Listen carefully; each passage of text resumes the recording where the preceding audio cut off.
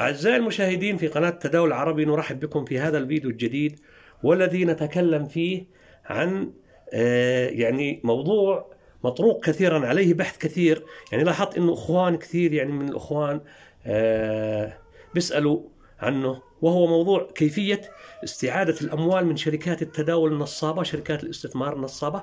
آه، الشركات اللي تدعي أنها تربح لك وتتداول لك وبعد أن ترسل الأموال لها آه، يبدأون بالحجج والذرائع الكثيرة. طبعا هذه الشركات كثيرة جدا كثيرة. شركات النصب والاحتيال في مجال التداول وفي مجال الاستثمار عبر الإنترنت في الذهب العملات وكل الأدوات شركات كثيرة جدا شركات آه، نصب واحتيال كثيرة جدا. لكن إحنا بدنا نركز على الطريقة اللي ممكن تساعد أنت نفسك فيها بعد ما تتعرض لعملية النصب والاحتيال. في البداية عليك طبعا دائما إحنا بنحذر من الشركات. أي شركة بتدعي إنها بتربح لك ربح كبير ومضمون وبتدير الحساب ربح كبير ومضمون هذه الشركة نصابة ابتعد عنها. لا تصدق أي شركة تدعي إنها تربح لك أرباح كبيرة ومضمونة. لا يوجد شيء اسمه ربح كبير ومضمون في مجال التداول أو إنه شركة تستثمر لك أموالك وتدير لك حسابك بربح كبير ومضمون. هذا نصب واحتيال احذر من هذا الموضوع. الآن بالنسبة لاستعادة الأموال من الشركة النصابة، يعني إحنا إحنا بنفترض إنه الآن تعرض الشخص آه، تعرض الضحية للنصب والاحتيال من هذه الشركات، كيف إحنا الآن ممكن نسترجع هاي الأموال؟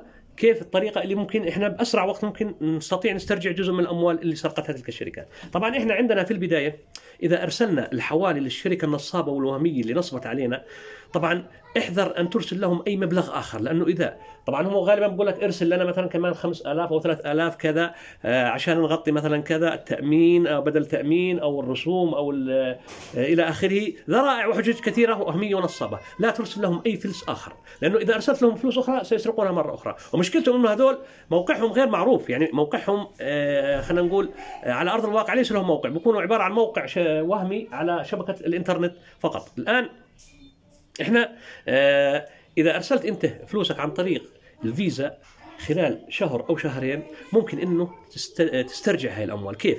بتروح على البنك اللي أعطاك الفيزا اللي حولت لهم هلا شركة نصابة الفلوس عن طريق هاي الفيزا. البنك اللي اصدر لك الفيزا بتقول لهم هاي الشركة نصابة وهمية قرصنت بطاقتي وحولت لهم فلوس وتبين إنها شركة وهمية ونصابة وشركة تداول غير حقيقية. بدي أنتم الآن أريد منكم أن تتواصلوا مع شركة فيزا أو مع شركة ماستر كارد يعني شركة البطاقة نفسها على أساس أنه تبلغوهم إنها هاي شركة وهمية ونصابة عشان يحجزوا على أموالهم الموجودة لهاي آه، الشركة. شركة فيزا بتقوم بعد ذلك بالحجز على أموال تلك الشركة النصابة واستعادة ما يمكن استعادته لك. هذه العملية يعني أنت بتقدم بتروح على البنك بتقول لهم أنا تعرضت لنصب واحتيال من شركة اودعت فلوس وهي الشركة قرصنت بطاقتي وسرقتها. الآن البنك آه، وظيفته واجبه أنه يتواصل مع شركة آه، بطاقة الائتمان اللي هي شركة فيزا أو ماستر كارد بتواصل معها بقول لهم إنه فلان إحنا عندنا عميل بالبنك آه، أعطينا بطاقة فيزا ونصبت عليه شركة هي موقعها وأنا هاي الشركة نصابة وهمية وقرصنت بطاقته.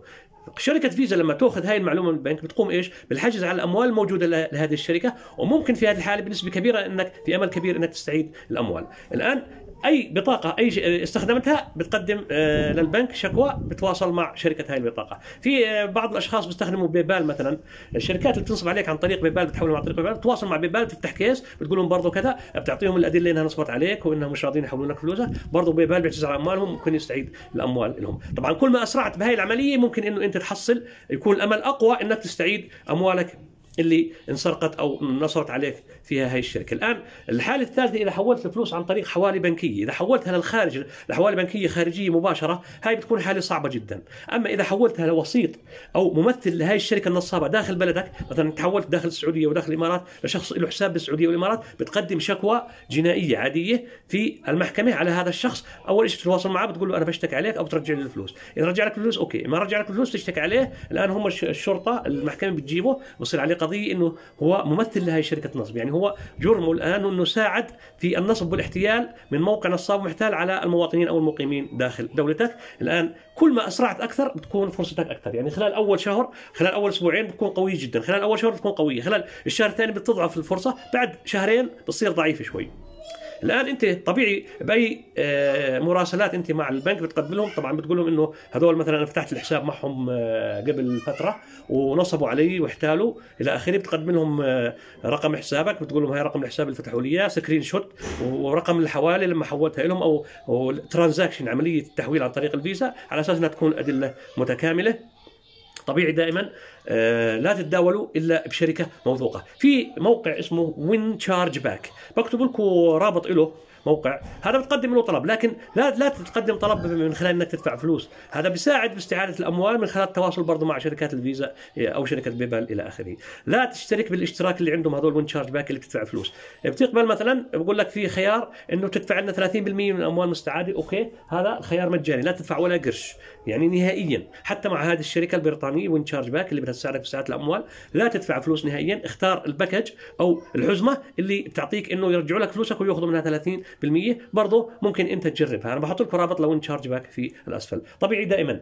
أي شركة بتقول لك إحنا بنربح لك ربح كبير ومضمون أو بنعطيك توصيات مضمون الربح هذه وهميه ونصابة لا تتداول فيها. التداول اساسه إنك تتعلم بنفسك بتشوف السوق السوق شو فيه فرص بتطبق. يعني بتتعلم على حساب تجريبي وإذا ما عندك خبرة بتطلب آه، حساب تجريبي تتدرب عليه وتطلب من الشركة نفسها اللي بتكون موثوقة اللي بدك تفتح فيها حساب. إنه تدربك بيعطوك تدريب مجاني آه، على آه، تدريب مجاني شامل طبيعي. وبننصح دائما فقط بشركات مرخصة من بنك مركزي خليجي ومقرها في نفس الدولة. على سبيل المثال شركة ADSS الاماراتيه مرخصة من بنك الإمارات المركزي مراقبة مراقبة تامة وفيها تأمين لكل الحسابات ولكل الأموال. الآن شركة اي دي اس اس الإماراتي بننصح فيها لأي شخص بده يتداول العملات العملات الرقمية الذهب النفط الأسهم الأمريكية إلى آخره. شركة فيها رافع مالية لحد 1 إلى 400 بتدربك تدريب شامل مجاني وبتعطيك تحليل يومي شامل للسوق إضافة إلى أنه فيها حسابات إسلامية وتجريبية ومصغرة وبتقدر تودع وتسحب في أي لحظة بسهولة وبأمان.